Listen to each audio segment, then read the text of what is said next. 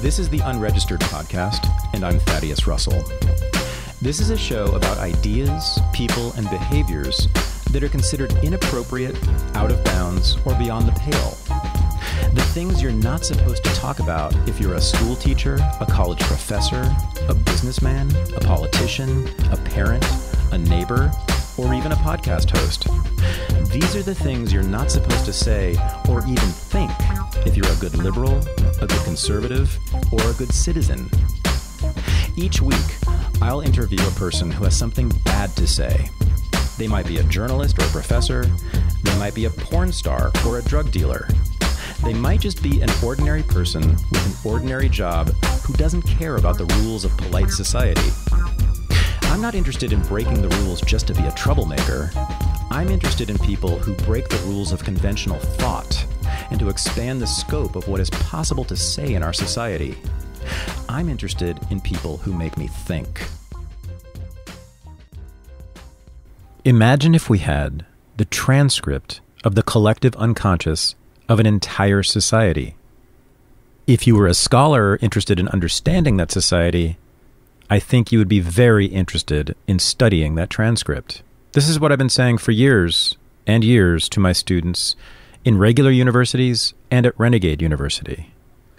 Pornography, which now is consumed by virtually everyone in American society, is that transcript of the collective unconscious, I believe. My guest this week was the first academic scholar to take seriously this genre, this art form, this very popular culture that is simultaneously everywhere and nowhere. This is my interview with Linda Williams.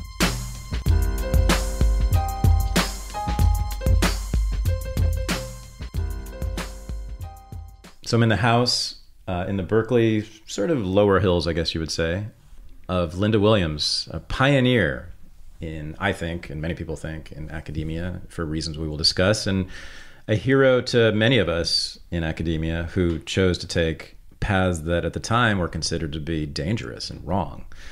So I'm really, um, I'm sort of honored to be here actually, and I'm really grateful that you would have me here and to be willing to speak on unregistered. A lot of I told you just before we started rolling that a lot of academics are very skittish about coming on this show, but you said you had no problem with it, which I appreciate. So thank you for doing this. I'm happy to, and, and as I said, I think I have nothing to lose. yeah, we'll see. Are they going to fire me? That's right. You have tenure, right? and you're an emeritus. So yeah. So let's let's do this. I thought the best way to do this for the audience, many of whom probably will not know about your work, um, is do let's do the sort of what the headline would be uh, of the capsule summary of your career. I mean, you like most famously, right? You're most famous for essentially pioneering what is now called porn studies, a term you don't even like, right? but the, the, study of pornography um, as a serious object of academic study, mm-hmm. right? You were That's the, true. You were essentially the first, I believe, academic to do that. Correct? Well, I'm the first person to take it seriously as a form that needed to be paid attention to. Right. I think that that would be fair to say. And you treated it at, in your work the way that an English professor would write about a novel. Exactly. Right. Yes. That's that's what you did that mm-hmm. no one else had done before. There were, of course, there was academic talk about pornography, but it was uh, as to how bad it was and how dangerous it was and, and whether it should be censored. Well, there were some people like Steven Marcus. Mm-hmm. He wrote a pretty serious book about, it wasn't about film pornography, but it was about pornography. Mm-hmm. But I, I, always felt that he was holding his nose. It, oh, yeah. He didn't. He's anti porn, isn't he? he? Well, he came off as anti-porn, but that was sort of the way one had to be because it wasn't art. That's right. For him, it wasn't art, right. and that was the question. And as a literary scholar, he could do that. Right. Uh, as a film scholar, I found it to be a genre, mm-hmm. and genres are of intrinsic interest yeah. to us, who to those of us who care about genres. But the thing is, Linda, what you chose a completely insignificant art form because no one watches porn. right. I mean, this was this is the great sort of what I like to call bourgeois silence that you just mm-hmm. you just threw open the doors on, right? It's like everybody does this thing and no one talks about it. Right, right, and not in, It not in any went- serious way. It went without saying Yeah. that uh, it was uh, trash. Mm-hmm. And, and interestingly enough, in fact, I've just been trying to work on this idea. Hmm. Um, I'm trying to write an essay about the the supposed end of obscenity. Mm-hmm. That you know that there was this belief in the uh, right about the time someone like Steven Marcus was writing, or into the early '60s, that uh, that uh, obscenity was going to disappear because we were going to be able to say because there were all these things that were that were that were deemed obscene that that were no longer there was a, a, a sea change happening but what with sexual revolution and cultural revolutions and and all of a sudden lady chatterley's lover was not was not obscene, obscene. Uh, and along with lady chatterley's lover it became possible to say that um, uh, these other things that were obscene were were maybe okay too. And so there was this legal idea that one could develop the hard core. And once you identified the hard core, uh, then then you you found that bad thing that was at the center that you could spit out, and all these other things could come in. But as that was happening, the very definition of of of uh, sexuality was changing. It was becoming uh, an important force, Right. something that we needed to not repress as badly as we had in the because sexual revolution was taking place. And so as we were trying to pare down the hardcore, and that's the language of Walter Kendrick, which yeah? is I think Oh, a real- oh, in The Secret really- Museum? Yeah, a, re- a really interesting a book. great a great book. Uh, it's called The Secret Museum. It's a history of pornography. and I would Yeah. say it was a book that enabled my book. yeah. Uh, I, I couldn't have written it without without Kendrick. So this idea of a hardcore, but at the same time, the hardcore was kind of melting in front of our very eyes, Mm. uh, and so uh, if sex was important, then obviously pornography was important to study. That's what I've always been saying. You know, I mean, psychologists for how long have been telling us that sex and sexuality is at the center of our unconscious mind and at Yes. the center of our consciousness I mean, as well. that, was what Freud said. and certainly. that's right. Freud and, and however many ever other psychoanalysts of all kinds, right, have Mm-hmm. been saying this forever and ever. We all sort of know this in some way or another, right? and yet we never talk about it. It, and we never, and with pornography, and we have the statistics now. I don't know if you've heard. Have you heard Jon Ronson's podcast on Pornhub? It's absolutely fantastic. No, You need to listen to this. is it about Pornhub? yes, it's about Pornhub and its effects on the industry. It's you need to listen to this. Well, if you give me a Uh, recording of what we're making, I won't take notes. Thank you. I will tell you. I will tell you later. I will remind you. I promise you. Um, but he, uh, one of the great moments in it is the the president of Pornhub says, "Well, it's funny how much Americans, you know, complain about Pornhub, and they always try to censor us, and they're always talking about censoring our our actors, when in fact we we know." How many Americans are watching Pornhub? They've got it's, the it's stats. 165 million people per day in America, which accounts for every single adult American. so that means that essentially, virtually every American is, is watching uh, uh, Pornhub every single day, and yet no one's talking about it, right? Mm-hmm. And certainly in academia. So when I entered graduate school in 1991 there was Oh. there was no such thing really. I mean, there, it was it was unheard of. I mean, not just porn. I'm talking about sex. We didn't talk about sex, you know. Um, and I that was one of the reasons I left was because I needed to talk about sex because I thought it was important. Uh, not because I'm a pervert, you know, although that's part of it. But you know, it's uh, it's a remarkable thing, isn't it? I call it the great bourgeois silence. I don't know if I coined that, but you know, this is basically what Freud talked about, just repression. Yes, that we just yes, don't talk about yes. it from the Victorian era. Like, and so here you come. Uh, and we're kind of jumping ahead of here, but like in 1989, you publish Hardcore, which is your most famous work probably, and that's the pioneering work where you take seriously porn as a film genre, as it's an object of study. Um, and uh, at that 89, I mean, that was really what was it like? I mean, you, you enter that world. You do talk about it in your book a bit, but describe it. Like, what was it like to do this at that time when no one was not only talking about porn, but not talking about sex in academia? Well, people were talking about sex because absolutely Freud had mm. had paved the way, and mm. it, you know I was reading, I was reading at that time. I had already written a book on surrealism. Mm-hmm. And why was I interested in surrealism? It mm. was fascinated by sex. Mm-hmm. It was fascinated by the return of the repressed. Mm-hmm. Um, and so I was kind of primed to do this, not not thinking that, but but I, I had been studying Lacan. Uh, Lacan had actually been a surrealist.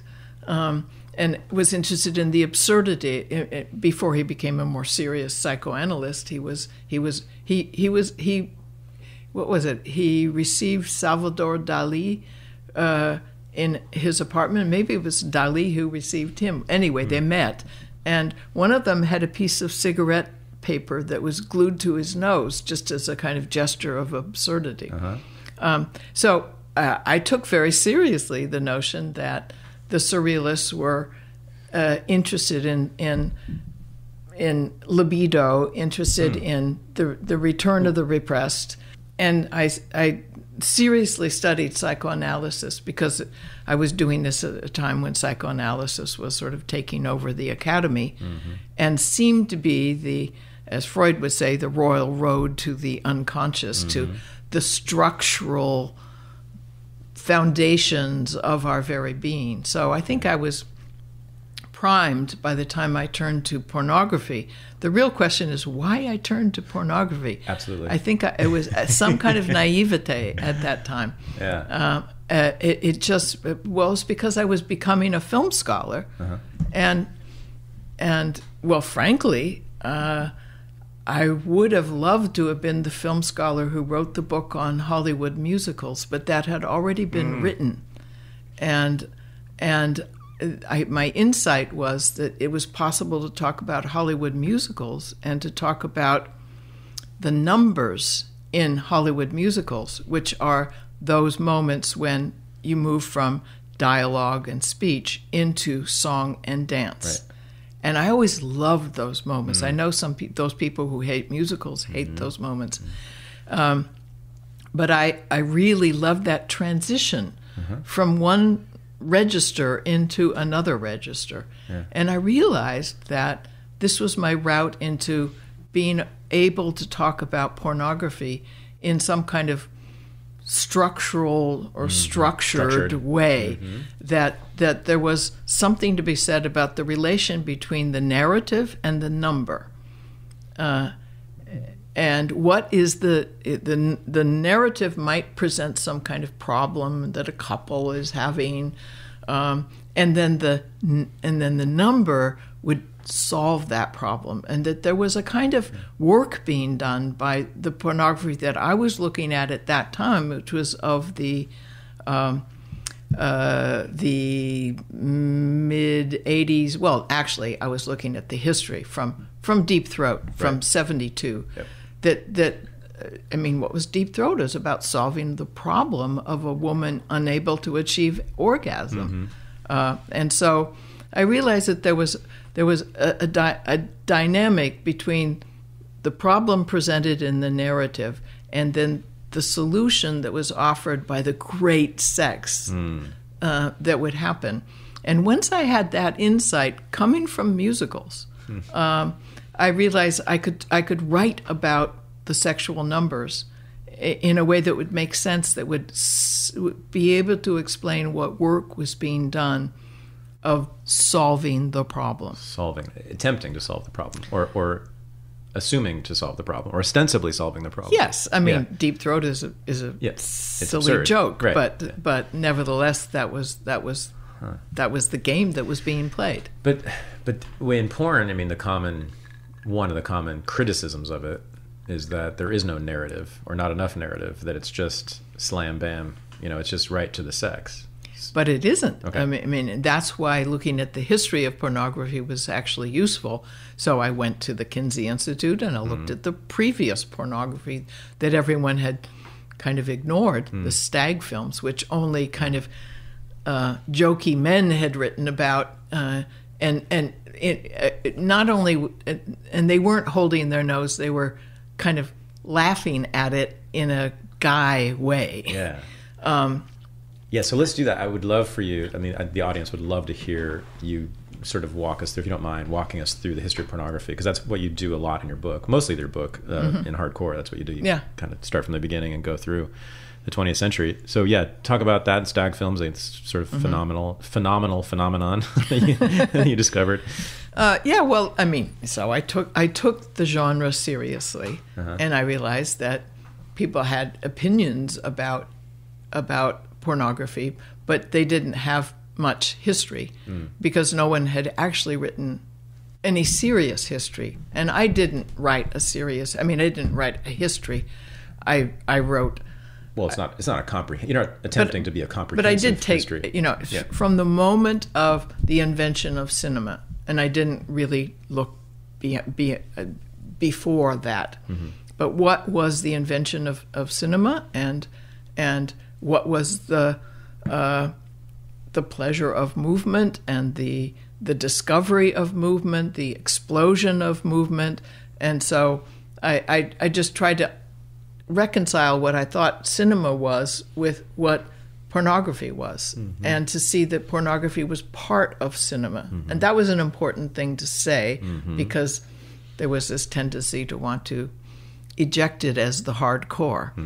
Um, but this process that I mentioned earlier, in which the hardcore kind of melts in front of your eyes, and you realize that maybe there isn't a hardcore.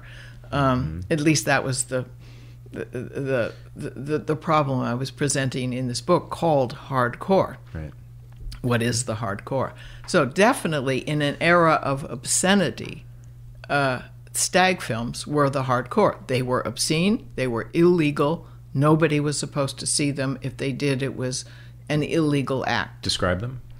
Um, uh, black and white, uh, 10 to 15 minutes max, silent films in which people who, if you see them today, they could be your great great great grandparents, Mm, God forbid. um, uh, have. Uh, uh, there's a little bit of narrative.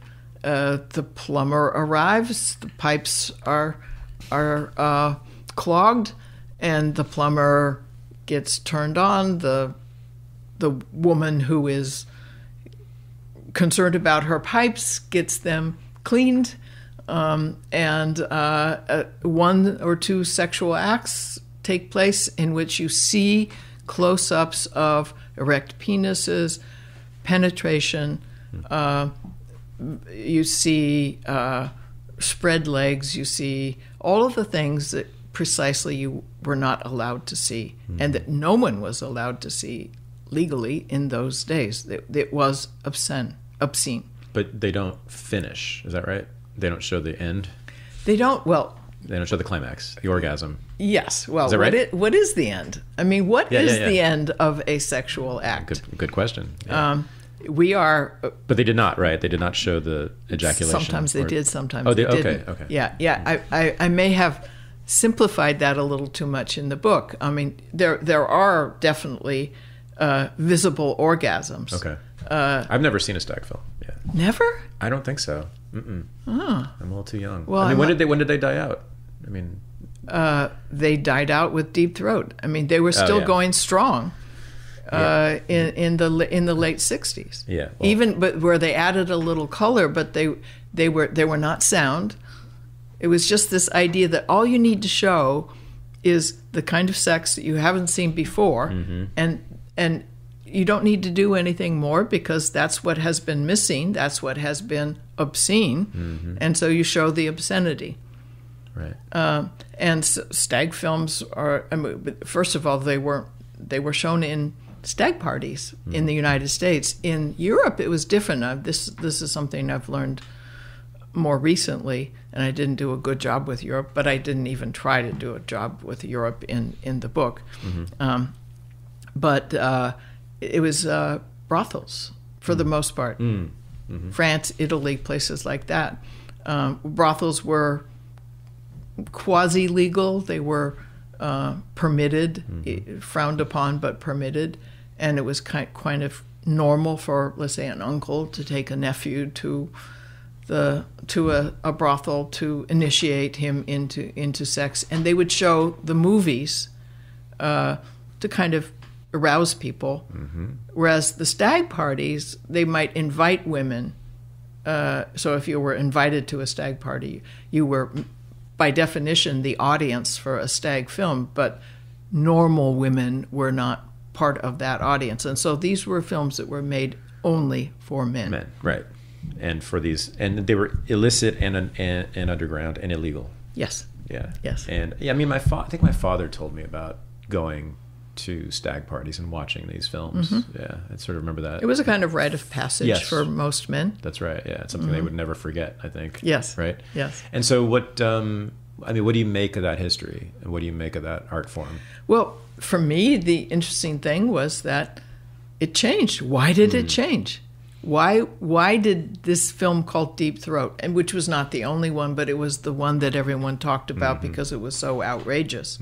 Why did this film called Deep Throat suddenly show become feature length with sound, and why did it uh, concentrate on what I be- came to call the money shot, which is the the visible ejaculation on the part of the penis, uh, which would therefore define the end of the sex. Like when you earlier said, "Well, the stag films didn't end," These- they, because we're so used to the climax being the visible evidence of the of the satisfaction of the sex act. Uh, well, is that necessarily the climax for the woman? No.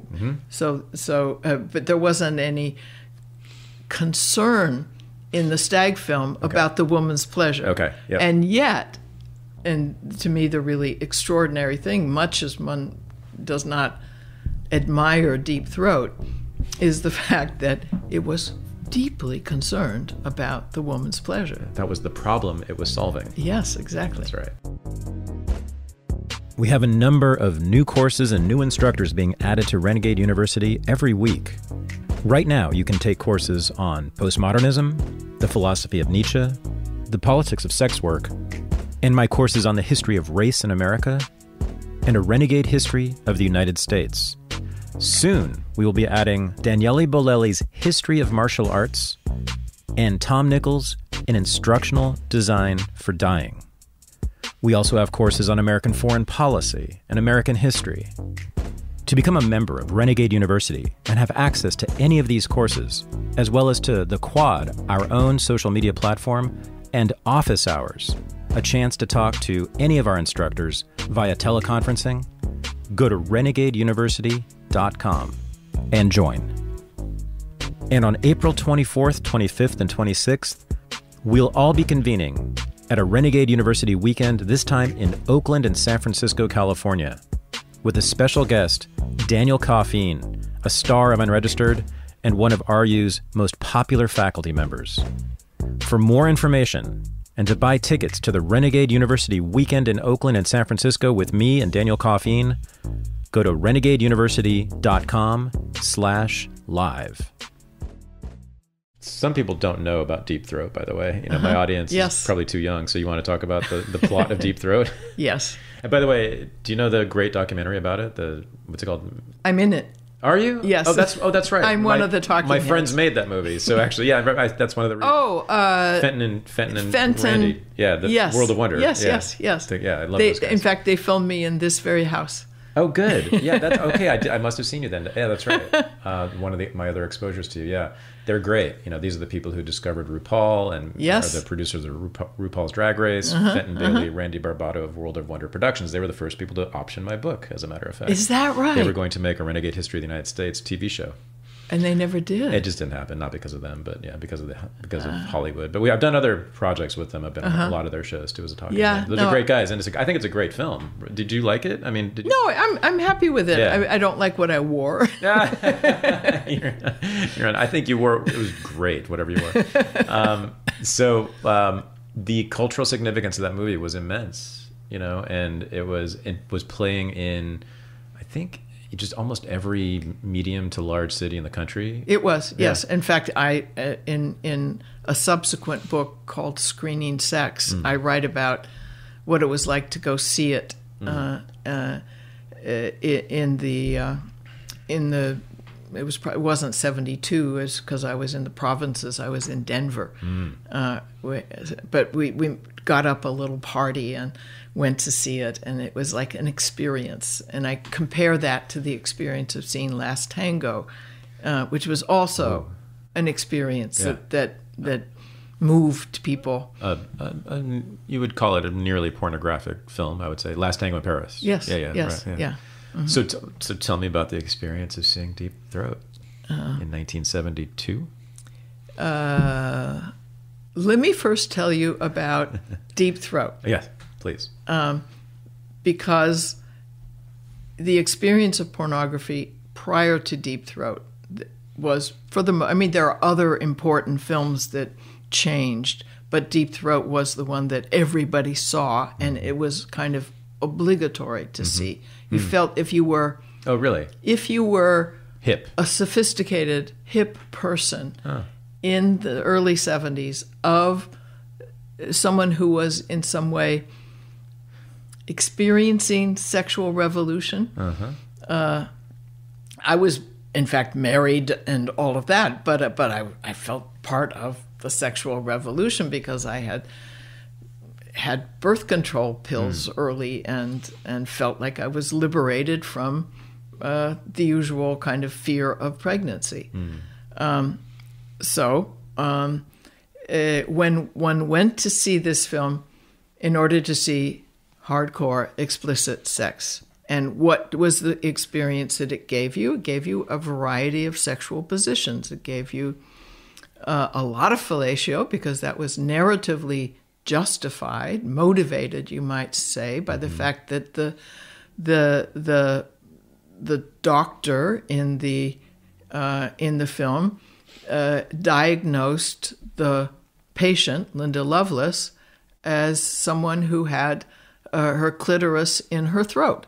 Therefore, the the miracle was that it was possible to see more of sex with fellatio, uh, because there you get you get an expressive face uh, that can smile, that can swallow, that can do all of these things, and you get an expressive penis which will do its thing.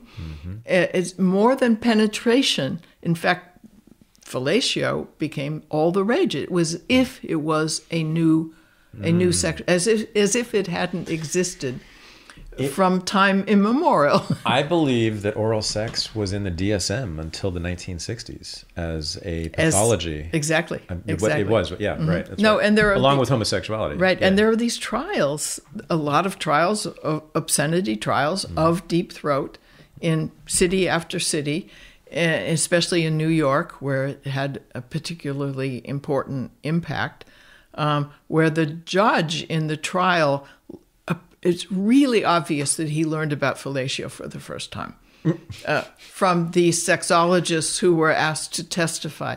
And so this is the the, the, the, the tradition of speaking sex that I like to talk about, that sex became speakable, Yeah. um, that everyone was talking about this new thing as if they had invented it, as Right. if it didn't exist before. But in fact, you know, like when when Bill Clinton said, "I did not have sex with that woman," mm-hmm. woman, I think there was a kernel of truth to it because he because fellatio was uh-huh. alternative. It was uh-huh. something else. And just as there are uh, young women today who feel they are virgins if they have anal sex. Mm-hmm. Yeah, I've yeah, I've heard this too from men. It's they say, oh well, if it's a blowjob, it's it's not cheating on my wife. Right. Exactly. Yeah. Okay. So there's that's deep throat. That's the basic uh, the storyline there. So what was it like for you? For me to go Yeah. see it. Yeah. Oh, okay. Um. um, a bunch of us, graduate students, at the University of Colorado. in your twenties. One of them was a philosophy professor and his wife, who was, I think, a graduate student, and my husband, and there were about six of us, I think. We just decided to make a long drive. It was like a 50 minute drive to go to Denver from Boulder. So it was an outing. And we went to, I think it was called the Pussycat Theater. So it wasn't your normal theater, it was a theater It's a that was theater. Uh, a porn theater, but porn theaters were not necessarily sleazy at this point. They mm-hmm. were, you know, like Times Square Right. sleazy, mm-hmm. the kind of thing that Andy Warhol would write about. Mm-hmm. This was more like upscale, Oh yeah. Uh, uh, meaning that you had to pay a little bit more for the tickets. Uh, it, it, I mean, it wasn't like there, there wasn't ejaculate all over the right. floor. And there were no men in trench coats. I take it. Right, exactly. And we were we were proof because we were Right. young student types. Relatively wholesome. right. Yeah, I certainly thought I was a wholesome person, but, but I was really up for the adventure of Okay. of seeing what what this film had to hold. Um, so I just have to say, I cannot imagine, you know, having spent 25 plus years in the academy as a undergraduate, graduate student, and professor, I can't imagine going to watch uh, porn with any fellow, when- with any colleagues, and especially not people who are already, you know, tenured or have, you know, who are already professors. I mean, I, I find it to be, as we were talking about before we started recording, a possibly the most conservative and uptight and puritanical institution or culture in this country, academia. I find I find people to be profoundly repressed that in ways that you don't find in the rest of the culture. Does that at all comport with your experience? Maybe not because you've been sort of No, because You've been in the weirdo uh, departments, though. I'm talking about like in history. I can tell you, it's pretty buttoned down. well, the the professor we went we, we went with. Uh, I think he was the one who had the car. Okay. this is also the He was a- 70s. He was a philosopher. Yeah, I know. This is, this is also He- in the 70s. He, he did lose tenure. Oh, see, I told you they ran them all out. all the cool ones they got run out. On the other hand, I got tenure. Uh, yeah, well, well, you got tenure before you started writing about porn. I do. I did. Did- You're right. This You're is right. very important. You, Uh, I've heard yeah. you. I've heard you talk about this. Yes, and it's no. a very. You, you actually advise your students not to to not to write about porn until they Although, get tenure. uh, and, and I think I still do. Yeah, you should. I think I still do because because it can go so many different ways. Indeed, indeed. So, did you at that point did you develop an interest in pornography in any way, uh, either intellectually or just as a consumer? Uh, or both. Well, I was at that time. I was really interested in the phenomenon of sitting in a theater with other people. Yeah. where where the goal of the film is to arouse you, and and and that's a phenomenon. Yeah, another thing I've never done. I've never watched porn with uh, in Yes. a group. Yeah. Yeah.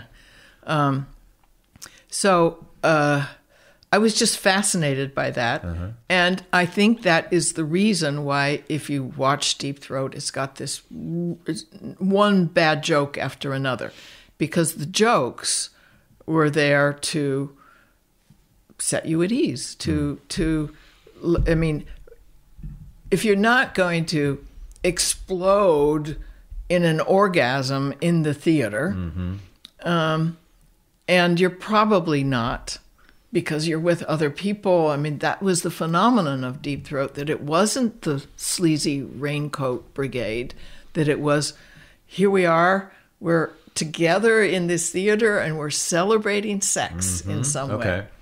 Um, and and the laughter was an easy way to make that celebration kind of more comfortable. Oh, so it really was okay. So it really was perceived by you and probably by other people in the audience as most importantly, am I right? Sort of a part of the sexual revolution, the counterculture, Precisely. and the liberatory um, potential. in fact, in those in, right? in that film by your friends Randy mm-hmm. And, and Fenton. Fenton, Yeah. Um, uh, John Waters Yeah. says, "Well, you might be sitting next to Angela Lansbury." That's right. yeah. That's great. Yeah. So okay. So So it was a social ex- Uh-huh. experience th- that going to see Deep Throat, and everybody did just for the experience. There was a kind of uh, how am I going to undergo this experience? A kind of experiment Mm-hmm. on some level. Okay, okay. Now this is what I want to ask you. So this is in 1972, right? Mm-hmm. that- yeah. Okay. And you're in grad school, and your interests have they already turned toward cinema Um, yes, they have. at that point? Yeah, because you you don't work on porn. But it's another, not 72 because it- the film opened in New York and it was probably 73. Okay. We're in the provinces, maybe 74. Okay, right. But you don't write about pornography until 1989. Oh, no, I You don't. I don't And you- dare do So something you like spend that. more than a decade not even touching porn. You're, you're writing very academic studies of first French surrealist film, right, and then film generally. Yes, but but look at the look at the films. Figures of Desire is the title of your, of your dissertation, which has become your first book, which we're looking at right now.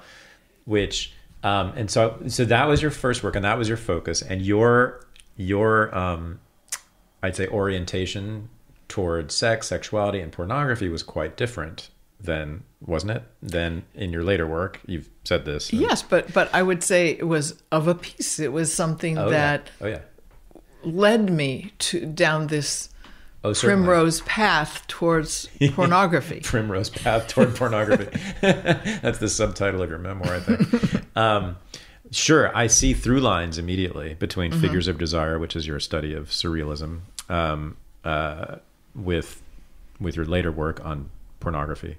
Uh, but there's a contradiction too, because you've said, and well, it's there in Figures of Desire. You you are applying a theory, a Freudian theory, to film and to sexuality in film that is at the time was sort of de rigueur among f- feminist scholars, right? Which is sort of the castration theory, the fear of castration. the- Absolutely. the, sexualized woman Yeah, represents. the- it's all there, and Okay. and it, it all worked perfectly. Yeah, oh, yeah. too perfectly. Totally. I'm sure. yeah, and the same stuff you wrote about horror movies, very similar, right? The, the castration anxiety, Mm-hmm. that essay you have, right? So can you just tell people, you know, the theory, lay out the theory, and the, how you applied it at that time, which Well, you, yeah, which you no longer entirely yeah, subscribe it, it to. was right? a Lacanian. I had hmm. been to France. I had go, undergone uh, a conversion to Lacan, mm-hmm. who seemed seemed to have the the structural, the proper structuralist and also psychoanalytic understanding of the human subject. Hmm. And the the idea is that the subject is not, you know, this coherent thing we think we are, reasonable, uh, governed by rules, and but in fact we are we are these dispersed desires and and um, per- perverted because perversion is not like a sickness. Perversion is the natural state of of desire in in our culture where uh, one is obliged to per- to literally what does perverse mean? It means to slide away from the direct thing to a more indirect thing. And so I never thought about fetishism is a perversion and Right. fetishism is so rampant in Yeah. surrealist cinema. Um, uh, and what is fetishism? According to Freud and Lacan? It is it is the way of uh, not confronting the fact that uh, there is castration. It is it is uh, sliding off. Uh, that one becomes fascinated by the let's say the frilly underwear. Because the frilly underwear are the things that disguise the fact that if you looked at male and female bodies, you would see that the female is quote castrated. lacking the penis, which is Lack. which represents castration, Yeah, a violent and, and, act. and so we are all based on the idea of this theory was that we are all based on lack, and and men and women are Mm-hmm. or, or are- fear, feel fear of the lacking same way. For men, it would be the fear of The lo- fear, losing the fear of losing what they have. and women and- are driven by their lack of a. I remember a at posing this question Yes. to uh, Christian Metz, who was my professor in in in, in Paris when where I was learning all of this stuff, Mm. and saying, are, are, "You think it's really the same for men and women?" And he said, "Je suis persuadé qu'ils sont les, that men and women are exactly the same. Really? in in in this." f- Formation of their subject based on lack Huh. and the desire to fill the lack. Yeah. And I bought it. Yeah. I know. And the feminist in me was a little. Uh, in fact, I think when I when I finally published a new edition of this book, at the end, I said, I said a little bit about an afterword in which you know I probably didn't do the proper feminist thing that I should have done by these by the Oh. by these films because you know why are they slitting women's eyeballs uh, a woman's eyeball at the beginning of Un Chien Andalou, which was the first really spectacular and powerful um uh, surrealist cinema, uh, surrealist film. If you remember, there's a moment where Luis Buñuel, who is sharpening a razor, uh, looks up at the sky and he sees a razor thin cloud going across the moon. And he he's sharpening this razor as he does this. And then suddenly there's a woman who appears and he sh- pulls the razor across her eyeball. Hmm. And that was so shocking to me when I saw that in a classroom at Berkeley Still when I was young. It is still shocking. Sure. It's, I mean, because it's shocking because it's not just that a man pulls a razor across a woman's eye. That's shocking, but it's that's violence. But it's motivated by the by this kind of aesthetically beautiful movement of the cloud across the moon, which is analogous to the razor being pulled across the eye. And these are the figures, you know, this comparison of, and this is a classic surrealist uh, uh, figure uh, in a sense of metaphorical figure. Uh, as you take something like an umbrella uh, and, and you compare it to uh, a sewing machine uh, or a, you take really, really disparate things and you compare them. And that's the nature of the surrealist figure. So I was excited by my ability to understand these figures of desire as being uh, examples of the des- desire to cast to to castrate to enact castration, but then to uh, solve the castration with the fetish. Right. That, that that will never solve it. Okay, But yeah. but that this is this is what the figures of desire do. They're endless figures of disrupting the unity of the subject and then trying to uh, like there there's a moment at the end of Luis Buñuel's last film where a, a woman is sewing a bloody piece piece of cloth or embroidering a and it's all about opening and closing lack and absence. And so you know I really enjoyed it. I thought I had solved the mystery of these films Okay, but I mean, it, it comports very much with a lot of feminist analysis at the time, though, right? Which is, is Absolutely. yeah, yeah. Because it's you're saying, yeah, okay, I wasn't sure about that. The because it um, the the woman, the object of desire, is desired in a fetish, fetishistic way because she represents the castrated male. The male fears being castrated, so he looks at the at the woman, the object of desire, with disdain, disgust, fear. Right? Is, am I getting it right? Yeah. Um, and that was but also desire and desire at the same time. Which so it's an endless loop. uh, Right, this right. endless sort of unhealthy, one might Right. say, um, misogynistic. It ends up being right loop. Yes. right. Okay. And that's the way that many feminists, not all, but many feminists, and I guess you looked at porn originally. As, yeah oh that's a good point yeah Oh, good. I thought, yeah, I thought, yeah. So that's yeah. Mm-hmm, to me the transition you make between your early work Yeah. on surrealism and your later work on pornography, because you change that. I mean, but you sort you sort of change your mind about that. I right? do. So you do you do eventually change your mind, and I want to get to that in a second. When you once you get to writing about porn more than a de- decade later, right, or about Mm-hmm. a decade later. Um, but there's another thing in surrealist film that you were very interested in, or maybe you were less interested in this, but it's you would acknowledge that it's very much a part of it, which you call its subversion of rational bourgeois civilization, right? That's what you say in the book. It was known for, and that's sort of celebrated for, and still is. And I think that's we agree, right? That's still mm-hmm. it's very much a part of surrealism. Mm-hmm. Um, is sort of pointing to pointing to the absurdity of rational bourgeois civilization, subverting it in very various ways, showing how it's actually uh, damaging to people's bodies, to people's psyches, in all sorts of ways. The rationalism rationalism of bourgeois civilization which you know my work is all about that. My work is all about challenges to rational bourgeois, bourgeois civilization. Um, now were you you want you you start with that in your analysis of surrealism, but then say, but I'm interested more in what goes on between men and women and this castration thing that happens. But were you? What was your take on rational bourgeois civilization at that time? Were you pro or con? I was definitely con. you were con, okay. Um, but but you know, I, I look back. You know, I'm I'm older and wiser now. I, I, I was in, I was a revolutionary. I believed I was a revolutionary. Mm-hmm. I hadn't thought deeply about what revolution really meant, ah. um, but I thought that um, I thought that the surrealists were on the side of of disturbing all of the repressive factors in in uh, in, in, bourgeois civilization, and they were, mm-hmm. but you know, I now think of it as very much a kind of masculine pose. Mm. Uh, I thought, you know, Buñuel and Dali were both deeply, deeply misogynistic, mm.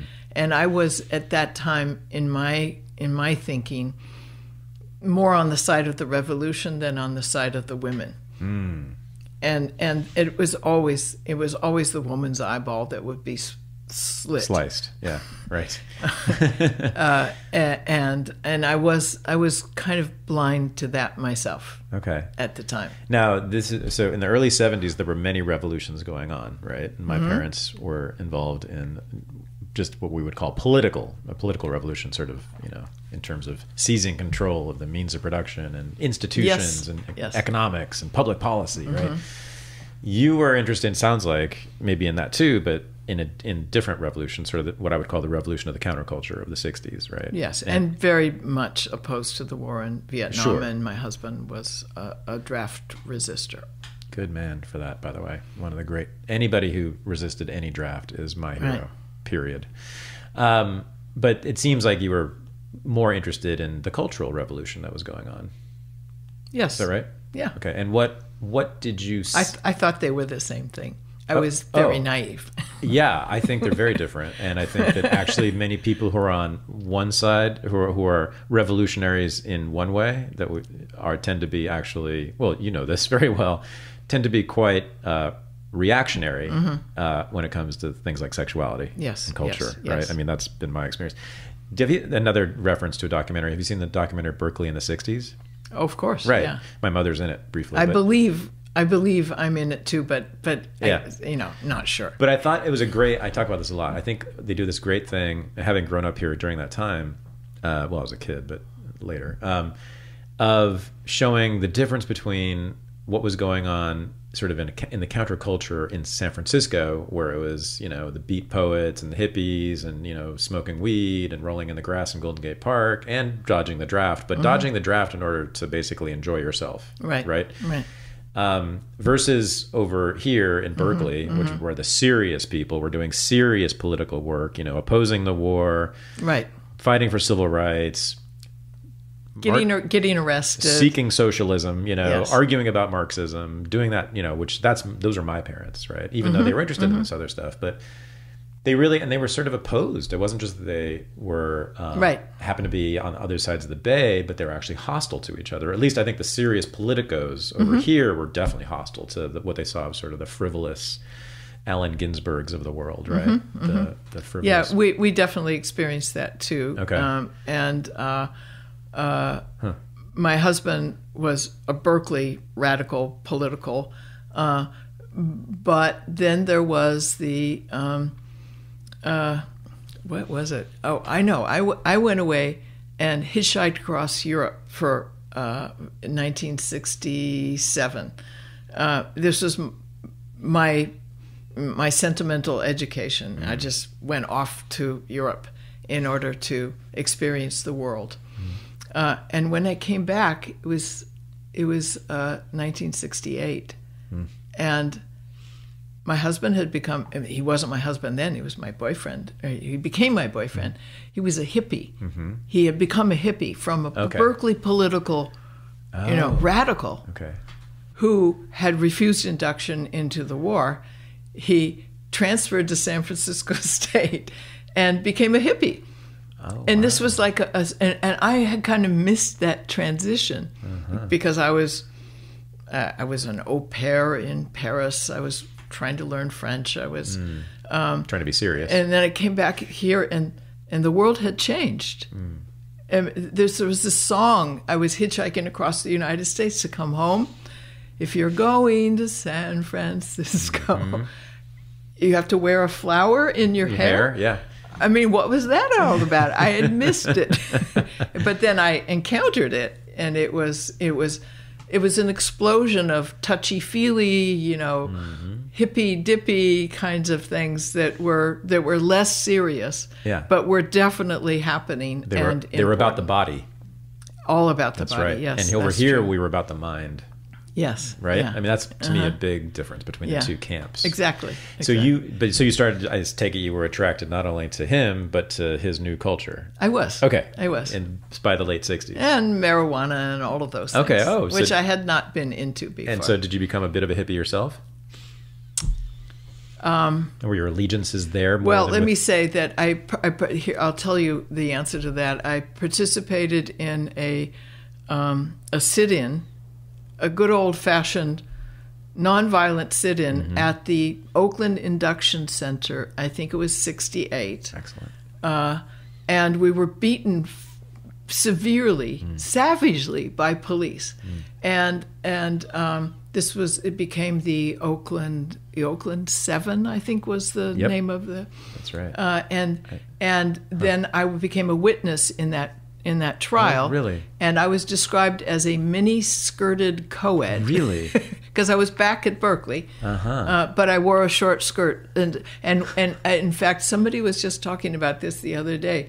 All women were dis- defined this way if they wore a mini skirt. You were I was a mini skirted co-ed. Yeah, of course. Which is very, very doubly gendered in a oh, way. Sure. yeah. And, but I was able to describe being beaten by police, and that was that was effective. right.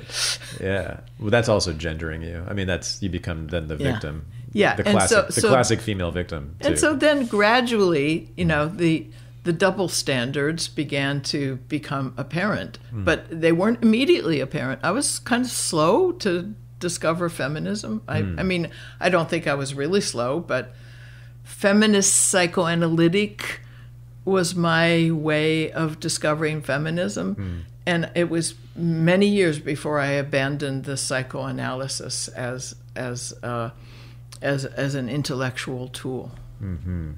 Yeah, I'm just thinking about you know the continuity again between your early earlier life and earlier career with again your your obsession fascination with pornography, um, and I I gotta think that your move at least tentatively toward the counterculture and at that moment had to be you know something in you you know that makes sense. That fits with someone who would be willing to break the taboo of studying porn seriously 20 years later right that makes I sense suppose. I Okay. don't, it, it, never seemed audacious. It never seemed really deeply radical. It seemed like a natural thing to do for me. to to study porn. And actually, I don't think I ever suffered any deep consequences Yeah, either. you've talked about that. So yeah, so hardcore comes out in '89, and as I said, it was pretty much alone uh, at that time. It was the first of its kind. I mean, yes, Paul Mark Marcus is his first name. Paul.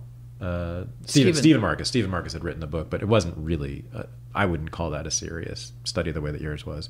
But um, you did not experience any backlash. Well, sure. Um, the eh, so-called, because at this point we are polarized. There are the feminists who are uh, anti-pornography and who have determined that the real problem. Oh yeah. in- let's uh, situate this. Yeah, let's Okay. sorry, let's do that. Let's do the porn wars. A lot of people don't know the history here. The Okay. late seventies, early eighties, that stuff. Because that's that's where you're you're kind of just after that, right? You're not writing in the midst of that. You're No, I'm not. I'm, Post, it's after that. post yeah. sec post porn wars. Okay, so uh, the po- so people like Andrea Dworkin, especially Andrea Dworkin, mm-hmm. um, began to express their excuse me express their feminism, and I think partly because it was hard to just sort of find what was the the the, the thing that needed to be attacked. Um, instead of attacking hmm. inequality directly, which they did, mm-hmm. but it was so easy to find the scapegoat in hmm. in pornography, hmm.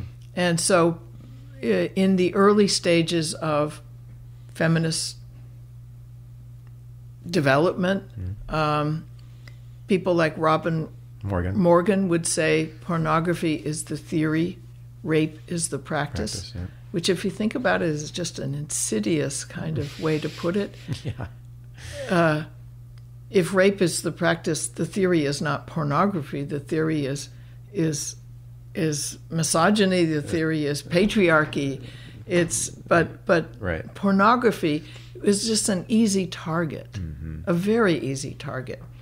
Um, and uh, so it was in the midst of those kinds of theories, which were happening on college campuses and uh, which I was certainly aware of, um, that, uh, and I, which I believed were true. I actually thought, yeah, oh, okay, sure, pornography's bad.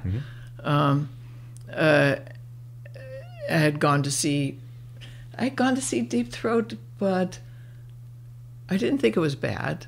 I didn't think it was especially good. I just thought it was interesting. You weren't you weren't offended. I wasn't offended. Oh. Um, Okay. uh, and there was this film called Not a Love Story, which you may have oh, that's, ever it's a documentary, right? A documentary About pornography, which about is anti pornography, very anti-porn documentary. It's like no duh, it's not a love story. That's the point, right? Right. which you, you I- have said, yes. and I saw it.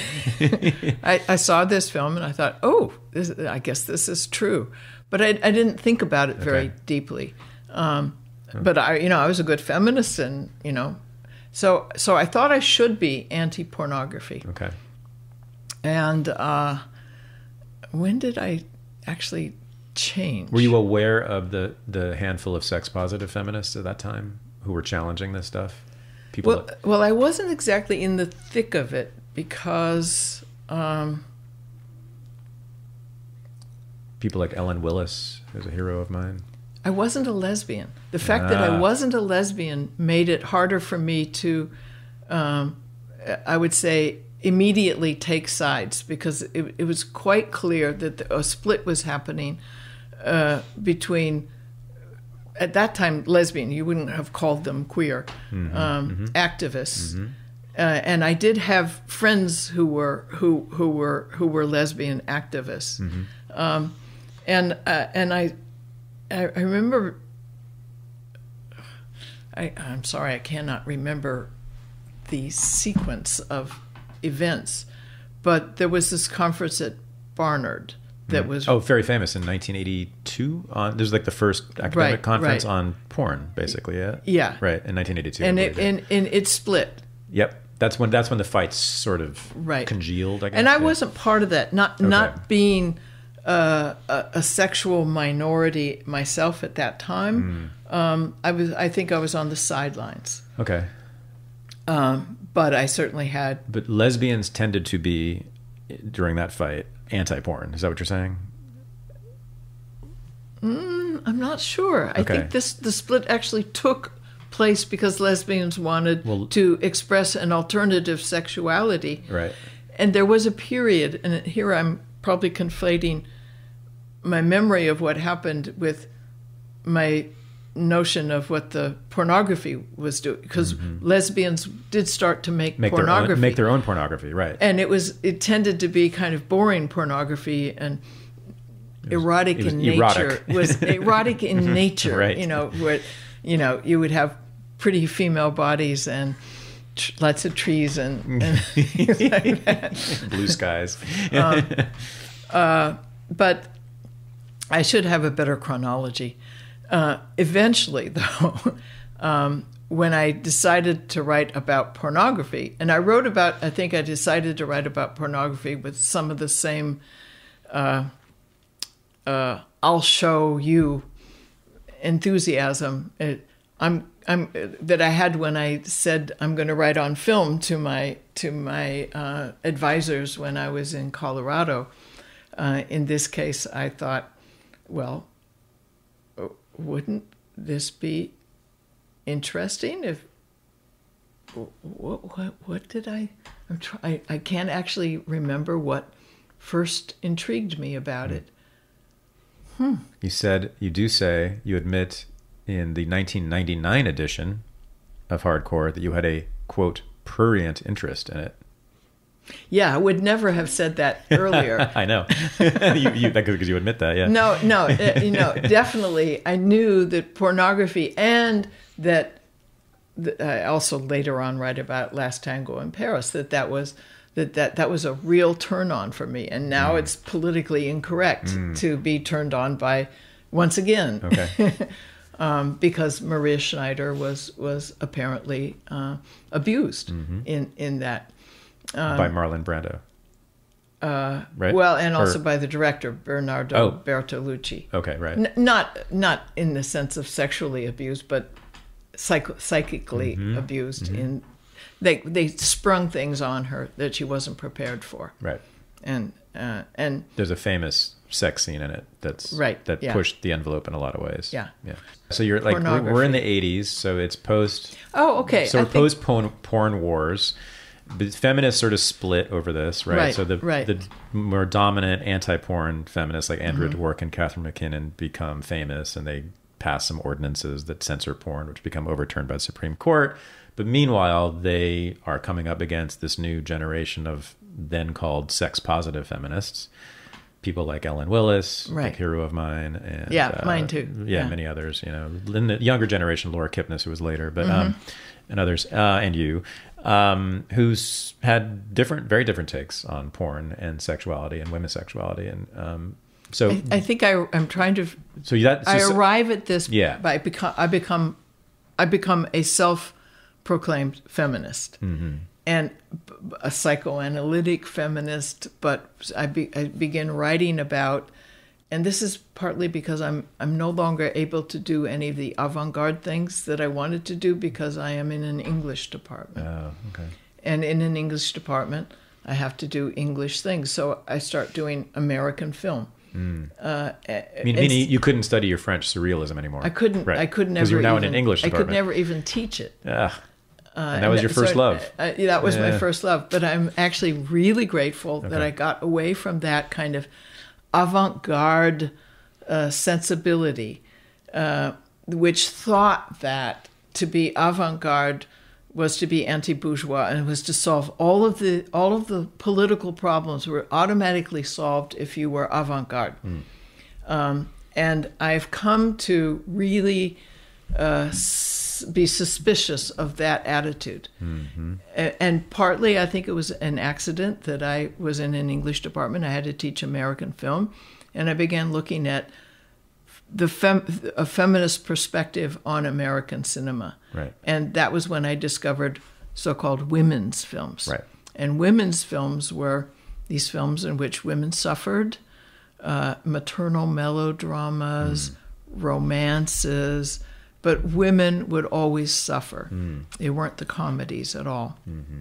And I, I wrote an article that to me was very important on Stella Dallas, which was uh, a 1937 uh, melodrama about a suffering mother who sacrifices everything for her child and who ironically says at one point in her career, a woman wants to be something else besides a mother. At this point, I was pregnant. I was teaching this film, and I was. I want. I definitely wanted to be something else besides a mother. But the the trajectory of that woman's narrative is that she, uh, Stella Dallas, is that ultimately she only wants to be a mother, and she and she, the only way she can be a good mother is to pretend to disown her daughter. Mm. And so she ends up with nothing mm. except noble sacrifice. Mm. And these sacrifices became a, a theme that I was fascinated by in the so called women's films, in which women are sacrificing. And so this was my, my way to discover feminism mm-hmm. and to explore feminism in the context of the melodramas of American cinema, which is still something that I'm I'm struggling with today, and which is, but I've discovered that melodrama is something much broader than I thought. Yeah. That it is in fact the kind of the glue of a, of of of popular culture. Yeah, you've made me three. yeah, you melodrama in some ways might be the one of the overarching themes in all of your work or much of your work. Um, It- I, I now see that. yeah, and you made me rethink melodrama when I was reading your stuff again about race, which we'll talk about in a second. Your more recent Mm-hmm. Right, stuff on right. race. Um, but um, so, but your reading of those women's films. So these are films that were popular among women and targeted at women audiences. I was that- I, actually I think I was trying to understand why my mother Ah. would go cry at a movie uh, in which a woman would sacrifice and suffer. Ah, okay. And, and what era? We're talking sort of early mid 20th I was pregnant. No, no, no. The films. The oh, films my, are these popular. 30s. 30s films. 30s. Oh, it's a 30s genre. Because I think of the. Oh, okay. This is. Is this post and forties. Oh, so it's post code, motion picture code. Absolutely Oh, postcode. I see. Because Yeah. before the code, you have the uh, fallen woman genre, which yeah, is yeah, the opposite. A whole different thing. That's yeah. the cool stuff. Yeah, you know, yeah. those are the badass women. Yeah, yeah. That's- These are the these are the the I- noble sacrificing so, women. okay, so the motion picture production code comes into effect in 1934. yes, and I guess really and. I didn't yeah. know this about um and so they cleaned up everything. There were no more gangster films celebrating gangsters. There were no Mm-hmm. more fallen women films celebrating the the woman who kills her husband and takes Mm-hmm. his money and has sex with many women, many women, men and women, and travels the world and is a you know now we would call them a badass, right? Right, right. Gets replaced by you know clean cut, wholesome Mm-hmm. Americans doing clean cut, wholesome things. Housewives. So, but I didn't know about this sort of this women's film genre. You're saying it's a whole genre, I guess, during that period. Absolutely. Oh, I- yeah. okay. No, it's very, very popular. Oh, I guess since I wasn't. uh, Mary Ann Doane has a wonderful book on it. Oh, okay. And so your mother was a fan of these. Yes, and my mother and I used to stay up and watch the movies, Uh-huh. uh, at, at late night television. And she would cry and you wouldn't. no, no, we would cry together. Okay, we would good. cry together. Oh, good, okay. I wanted to understand that, but I wanted to differentiate myself as a feminist from my mother's generation. Okay. And then, so how do you explain why she cried and why she cared so much about these films? uh, because because the suffering of a victim is crucial to the narrative. It is the way sympathy is generated. Um, uh, I mean, to this day, if you if you suffer, you earn my sympathy, even though you haven't done anything but suffer. I mean, it's not like you're heroic. I mean, you just suffer That's right. but there's this moral uh, moral credit that is given Yes. to suffering Yeah. which is i think uh, that's why trump can today proclaim that he is the victim of of, of a democratic hoax Okay. um, because he is he is saying he's claiming there's this vying to be the victim Sure. that takes place in our culture, Sure. which is hugely important, and um, which is what gives a kind of, and which is why melodrama is a moral genre. And, and, and in fact, it's no longer even a genre. It is so pervasive in our culture. But Mm-hmm. I'm getting ahead of myself. This is what I'm working on now. Define melodrama, though, because it is in all your, it's in much of your work. Yes. Um, uh, it is a story in which uh, someone suffers wrongly, and uh, one can say that it is wrong and it needs to be rectified, and that the person who, who either the person who suffers or the person who tries to rectify the suffering has earned the ability to uh, seek vengeance. It's mm-hmm. Rambo. Hmm. You know, mm-hmm. Rambo suffers, mm-hmm. and then he's able to refight the entire Vietnam War. He's entitled to because he has suffered so much. And it is, it is this hypocritical, deeply American, but not only American, belief that to suffer is to is to earn moral validity. Yeah, and virtue. You one becomes virtuous by their suffering, Exactly. by being a victim. Right. Well, it's interesting that you that you that you cite Donald Trump, Rambo, and then the sub the the characters in these women's films of the 30s and 40s. But most people talk nowadays. You know, they call, talk about the culture of victimhood these days, and it's usually we're talking about what goes on in college campuses actually right that that Yes. a whole new cast has been given this Triggers. yes so Triggers. and this this brings us to your later work which is not about pornography or much of it isn't you know which is about race in film and Mm-hmm. television you've written about race in film and race in television in particular the wire you have a whole book on that uh, but so um, so t- tell us about i mean talk about that like what's you see you see at least as i read you um, the the way that the relations between blacks and whites in this country historically have been presented is through melodrama and originally it was the white victims and the black rapists right with No, ori- uh, originally, where do where do Oh. we start? That it, it, it matters where you start. before birth of a nation what is there before birth of a nation Uncle Tom. Oh oh oh okay right of Uncle course Tom In- is in- the original black. i was thinking victim. film i was thinking film but yes okay so right the No, but but Uncle Sure. Tom. There are many film versions of Uncle Tom. Absolutely. But it was uh, at that point. That's right. Uncle Tom was past its prime as a novel. that's right uh, and f- uh, it had really done its major work yeah your use of the tom figure on stage. is is so huge the more I think about it. Yeah, and that's what your your book on race is. So you playing the race card is the book. Uh, yeah, it's sort of the what you, you you show how the Tom figure has been used and refigured in all sorts of ways. So the talk about the original Uncle Tom and who he was. I mean, sort of the pure victim, the innocent, virtuous victim, right? I mean, just just some people Okay. actually don't know the story. Yes, so- I know. yeah. No, and we're not supposed to because Really? to talk Oh, about because it's Un- politically Uncle Tom incorrect. is po- is so politically That's right. incorrect, Let's- it's a- which is so why important. it's important It's to so important. recognize that. And Yeah. of course, black people don't want to say that they in any way identify with Uncle Tom because it's become such a. Mm-hmm. Right. And James Baldwin had. Talks about crying at Uncle. He has a wonderful essay, Oh, yeah? and he talks about crying at Uncle Tom, and, and that the, the the the the fact that he shouldn't cry at Uncle Tom, but Oh, I should read that. uh, yeah, Wow. I, I can't remember the name, but Yeah. of the of feeling the essay. feeling ashamed. What, what was he ashamed of? Do you remember what was Baldwin ashamed of? Ashamed of identifying with Tom? identifying with victimhood when you yes. when you when you need to identify with the strength that can fight Whitey. That's right. Um, right. So Tom in the original. Well, Tom in the original is in the the original being the novel. Yes. Now, you know, I don't believe that uh, there was a, a- an Uncle. Tom, I mean, there are many Uncle Tom figures. Um, Harriet Beecher Stowe just happened to write this novel that um, was trying to oppose the Fugitive Slave Act, and which saw the fugitive slaves as honorable people trying to save themselves, trying to escape from uh, from suffering.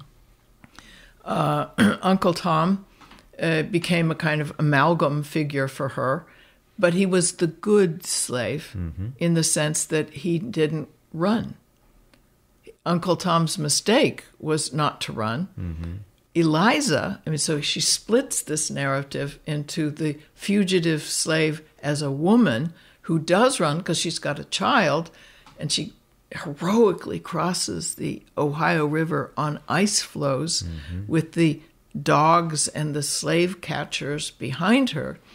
Um, so you have Uncle Tom, pure victim, gets sold downriver and suffers and suffers and suffers and is finally beaten to death.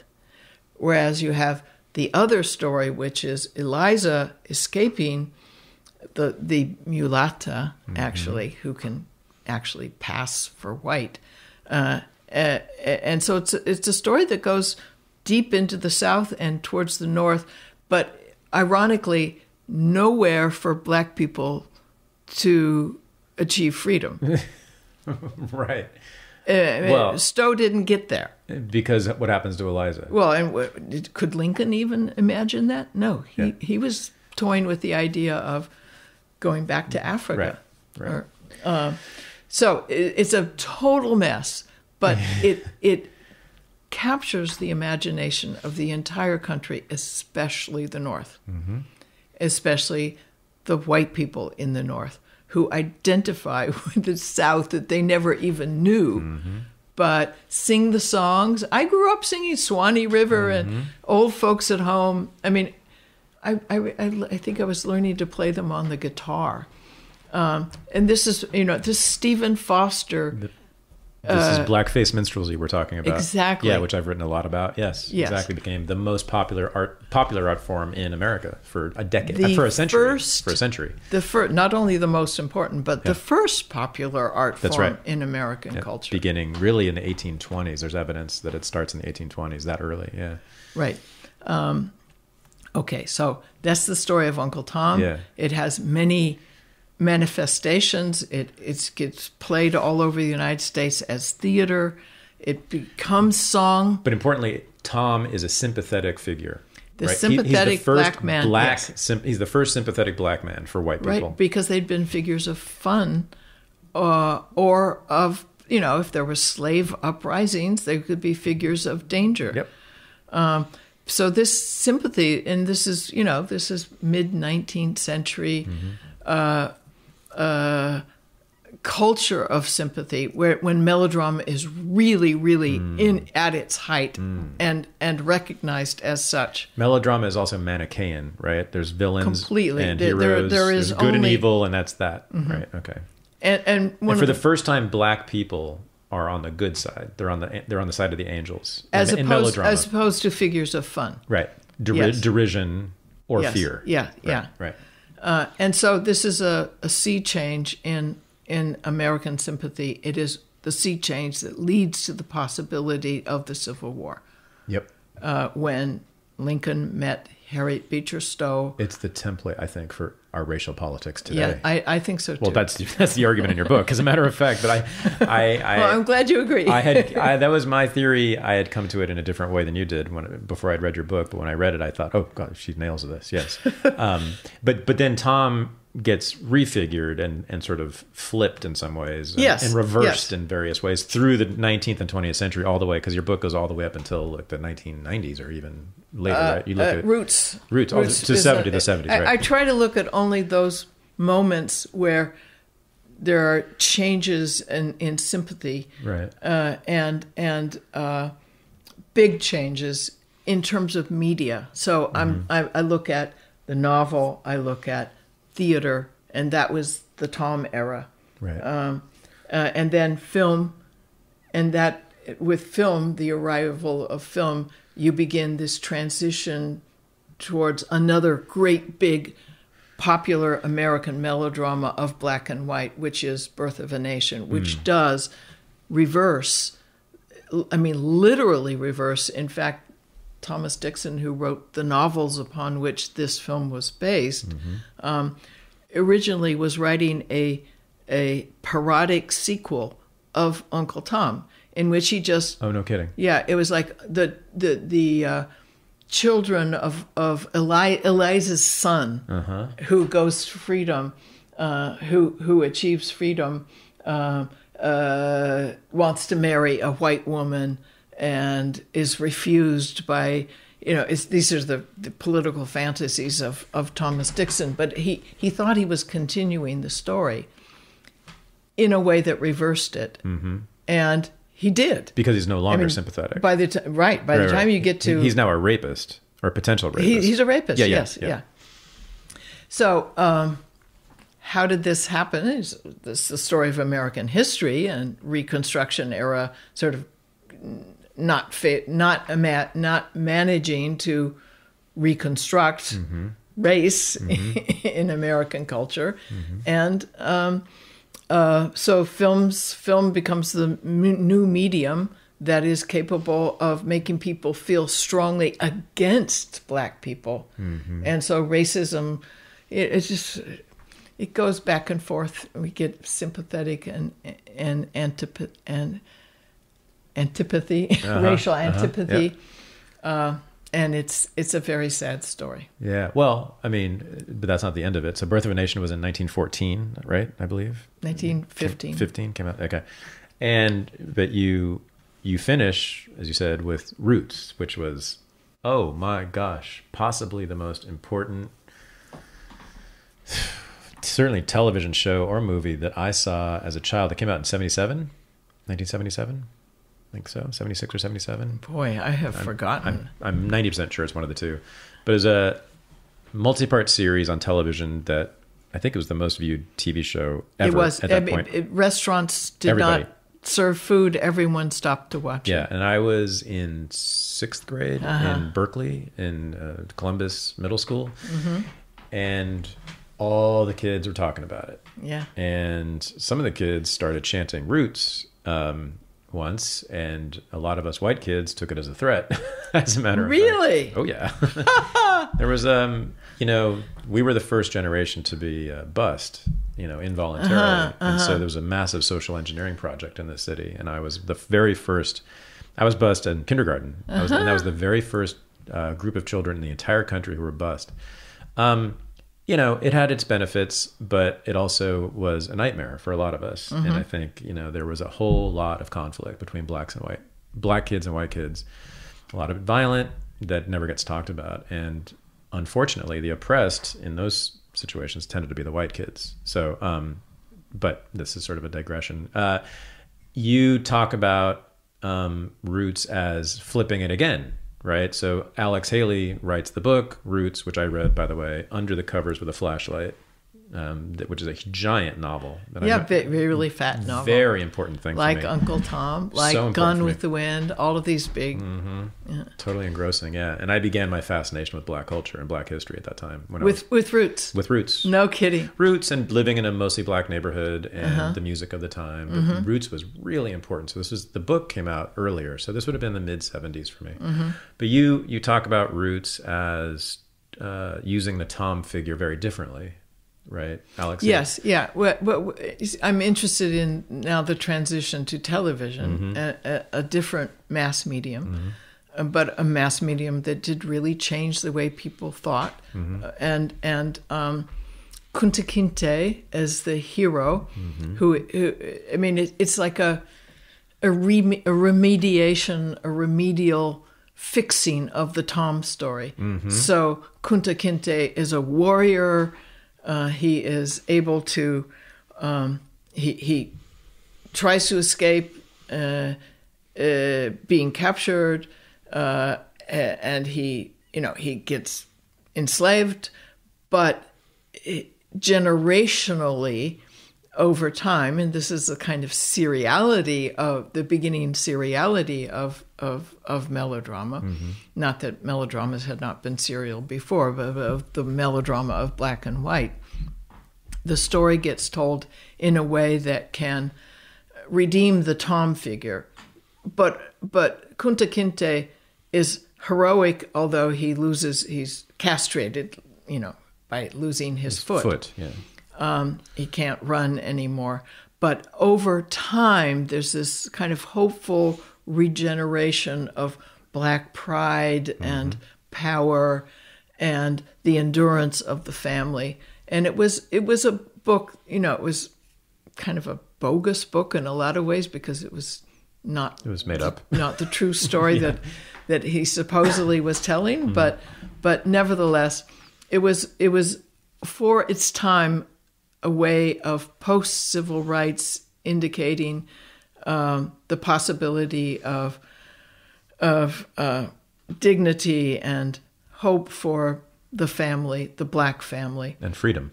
and freedom. Yeah, yeah. led by men who could have been Toms because they were the you know the, the subject of you know tremendous. I mean, Kunta Kinte has his foot cut off.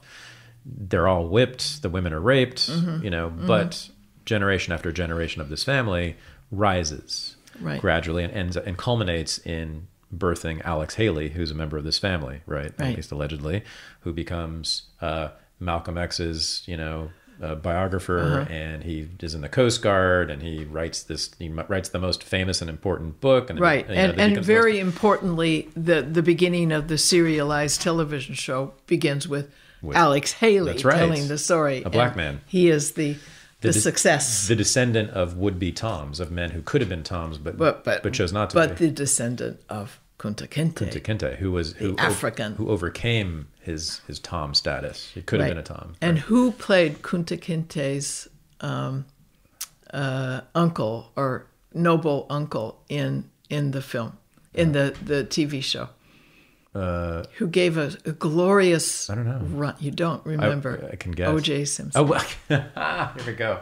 So yeah, this is, and you write about the O.J. Simpson trial too, don't you?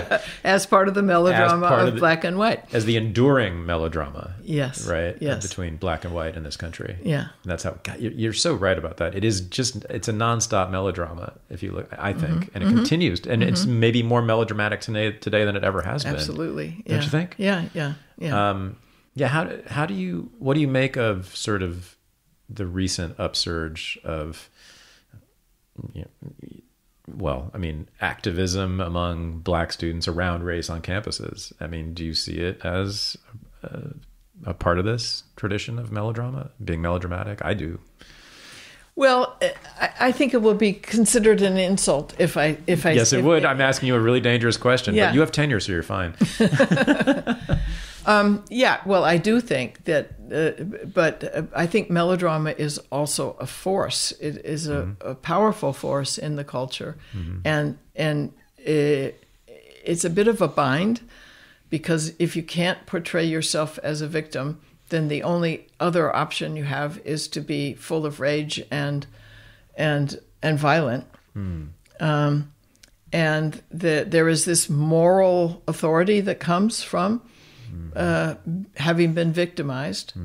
Um, uh, I, I mean, it's not really powerful amongst black students on campuses. It's not the only thing that they can do, but but um, yeah, I am worried about the the culture of victimization that that uh, prevails, and um, uh, I, I worry about it especially in the classroom when students say that they don't want to be exposed to things because they might hurt them or they might trigger reactions that that in them. And, and if that is the case, then I'm afraid then none of your books will be assigned. education is education around any of the sensitive topics that we need to talk about becomes foreclosed. Mm-hmm. And I think that's really unfortunate.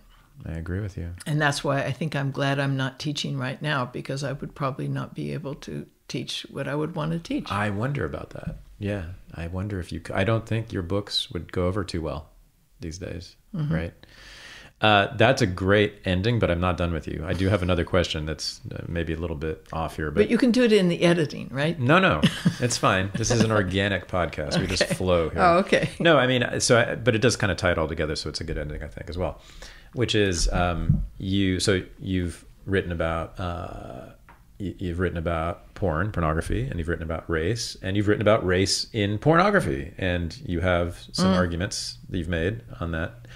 Uh, I'm not super sure I'm in agreement with you here, um, but lay them out. Like what you've. Mm-hmm. Well, I haven't really written about. I mean, I, I have I have like one article that's that Okay. talks about race in Well, you edited pornography. you edited the volume that's about this, right? Or much of it is about this, about race and porn. It's- there's, a whole, there's sex. There's a whole section Yeah, at least, okay. right? And you, and you have an Yes, essay in there it. is, yeah. Mm-hmm, you have an whole essay in it, right? Okay. Um, well, just talk about. It. I mean, what uh, what do you see going on there? Well, what I initially noticed was that uh, pornographers like to portray themselves as liberal, and because they like to portray themselves as liberal, they like to say that they are. They don't, you know, what's the liberal position in America on race? That you don't pay attention Right, to it. that colorblind. We are colorblind. Right. Um, I have a friend who says that colorblind is does not exist, but color mute definitely Yeah, exists. And so, Meaning we don't talk about it. We That- don't talk that's about to it. me what liberals do. They see it all the time. They're Right. obsessed with but it. don't talk but they don't it. talk about it. Right. They don't talk about their own feelings about Right. it. Yeah. A- And, so uh, I just discovered this. I think it was called uh, something about the color line, um, and it was this porn film uh, Hmm. in which it, that was pseudo, you know, in the new form of pseudo documentary, Mm-hmm. where you would porn performers would be interviewed, and they would say the the the approved liberal thing. I look at the person, I don't look at the color. Right. And then you see them acting in a scene in which it's all about put your black cock up my white ass or something like that. Yep, yep. And I love your black cock, and my God, your black cock is so big, unlike my husband's white cock, right? Yeah. Exactly, Yeah, yeah. exactly. It's nothing but pointing out the differences. And so I was just fascinated by the contradictions, you know, which is Well, natural. Uh-huh. I mean, yeah. it, it, it, you just got. The, I mean, to me, they're saying when they're acting what liberals are thinking but not saying. Does that make sense? I mean, Mm-hmm. Yes, it's just yes, it's yes. the return of the repressed. yeah, there. it is. Okay. Yeah. uh, but no, I did have a section of that anthology which I edited, which just opened up the discussion of um, sexualized and racialized desires, Mm-hmm. uh, and um, uh, the you know it, it, it opened up a discussion that had not been taking place Right. that I was pleased to Again, you, see. you made this serious, a serious uh, Yeah. thing to study. That's Yeah. right. But I, you know, I, I don't think I don't have any solutions to it. Okay. Well, I'm not. I don't want solutions to it. I, I don't think there's a problem with it. I mean, I think that. Um, I think that there. Huh, I mean, to me, pornography is is amazing in a few ways. One of them is that it's just uh, democratic is not the right word. No, but it speaks the truth in, in ways that are often Well, Anna, surprising. Anna Arrowsmith, who's been on my show, she's a feminist pornographer Uh-huh. from the UK. You know, this is her thing. This is her argument. I just think it's brilliant. You know, it's she says, pick the thing that you hate the most about your body, and then go to Pornhub, and you'll find a category Yeah. that celebrates that Yeah, very yeah, thing, and you'll find thousands or millions of people who who love that thing more than anything Mm-hmm. else, right? so that means there's there's a place for everyone in there, right? Um, to even feel good about themselves. That's quite something. But I think on race, I mean, there's just far more interracial relations in porn than there are in the society at large we live in right now Yes. much of it of course you know is fetishization. of the- fetishization plays on the old black stud stereotypes Right. Mm-hmm. you know all that sure no doubt about it but then again i mean you know the black man having sex with a white woman is the oldest and gravest taboo that they just violate right and left Mm-hmm. you know and i think that alone is i think progressive isn't it i mean i think just a- just having that and celebrating it and putting it right in your face is i mean it's certainly in certain contexts, yes, it- but in other contexts, it could be absolutely regressive. okay how so Well, if you have a, an audience of Mm. of white racists who who uh, just see their own validation of, of their stereotypes in, in in the representation, then then of that that would be the context that would be regressive. But hang on now. I mean, so Deep Throat, as you said, was all about being concerned. The problem in Deep Throat was, you know, women's sex, women's inability to climax, to have an orgasm, right? And in other words, the problem was women's desire, yes, right?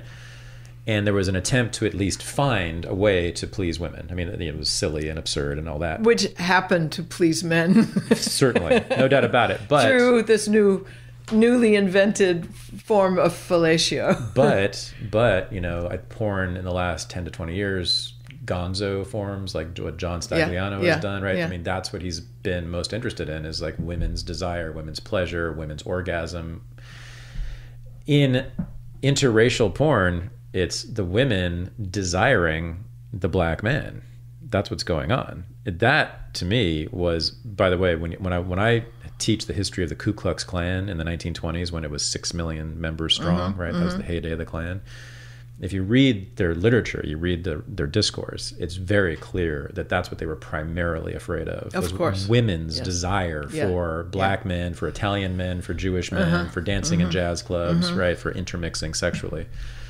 And so in porn, where there's interracial, interracial sex, I mean, I think it's almost always the woman has a special desire for black men in this whole new cuckold genre in mm-hmm. porn, right? Which is, mm-hmm. that's exactly what it is. You even have the the male, the white man husband sitting there watching mm-hmm. while the wife is doing what she'd rather do, which is be with a black Yeah, man. yeah. So I can't think of anything in American history taken as a whole that would be more subversive. I see. Okay. Uh, oh, that okay. all right? No, I, I I accept that. Oh, I good. accept that. Okay, good, good. That'll be your next book, maybe.